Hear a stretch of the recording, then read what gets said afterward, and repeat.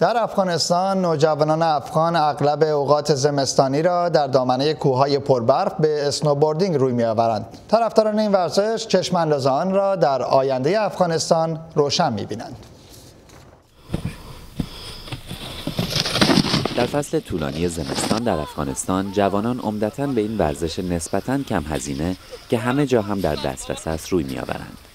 اسنوبوردینگ یک فعالیت ورزشی و در این حال سرگرم کننده در فصل زمستان است و طرفداران این ورزش چشمانداز آن در آینده افغانستان را روشن می‌بینند. اسنوبوردینگ ما خواستیم بیایم ایجاد کنیم یک چهره متفاوت از افغانستان به جهانیان بوده که ما از این طریق یک چهره متفاوت از افغانستان به جهانیان برسانیم. اونا ببینن که افغانستان که سر و سر صدای جنگ داره صدای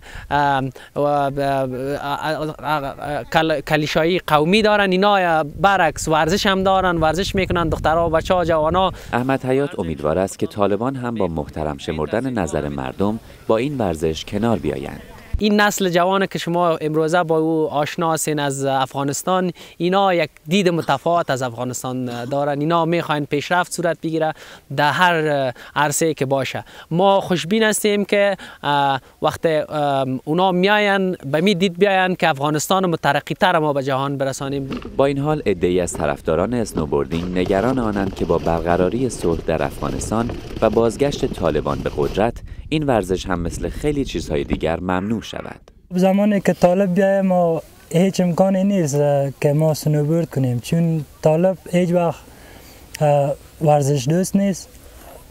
صلح اونا نه صلح می‌خواهن نه ورزش می‌خواهن نه وقتی که طالب بیاید ما هیچ نمی‌دونیم سنوبورد کنیم در افغانستان. کریم فیزی که به خاطر جنگ داخلی دو دهه‌ای در کشورش به آلمان پناهنده شده بود، سال 2018 به افغانستان بازگشت چون عاشق اسنوبوردینگ است. می‌گوید رویایش این است که به آلمان بازگردد و دوره مربیگری اسنوبوردینگ ببیند و نماینده کشورش در بازی‌های المپیک این ورزش زمستانی بشود.